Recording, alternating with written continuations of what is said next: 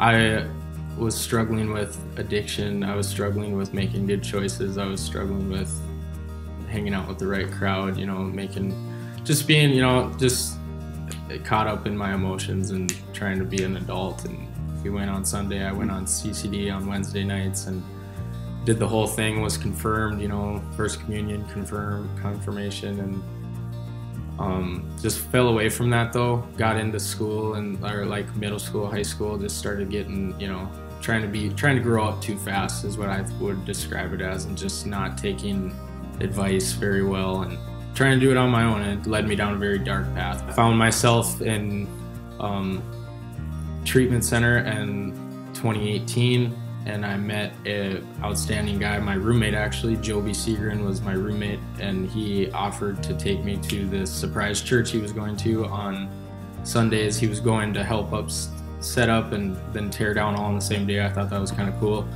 The thought of that, you know, I was I was open for anything because I was really actually that was the first time in my life I was trying to turn myself around and like go towards the better.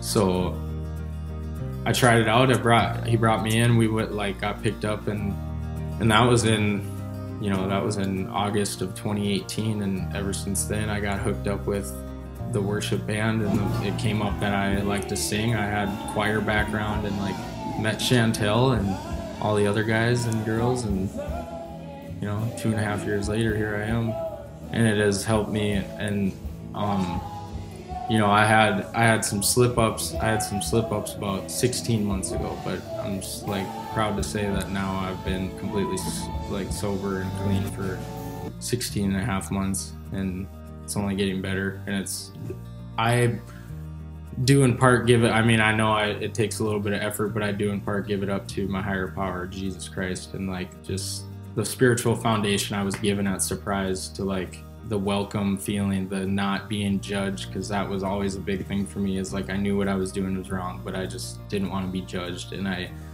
come into this place completely putting myself out there, and I'm getting hugged and I'm getting greeted like I've known you guys forever, and that was like, okay, that's it. You know, I'm gonna make a commitment to this, and I, uh, you know, show up every sun, try to show up every Sunday, and you know, lay it all out there for everybody who shows up. It's like a, you know, I just love the feeling of looking out there and seeing everybody and to be invited and then accept it and then follow through and actually go with and try it out is like just making that first step towards it. It's life changing if you just want to, you know, you just put yourself out there. A little vulnerability will go a long way.